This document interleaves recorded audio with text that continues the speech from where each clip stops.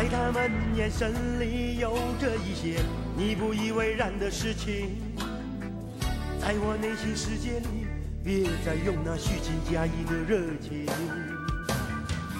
我俩之间的爱情仿佛是越来越难行，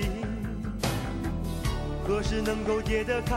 我想重新回头再决定，是不是桃花不常开？要用多少时间来灌溉？难道说好景不常在？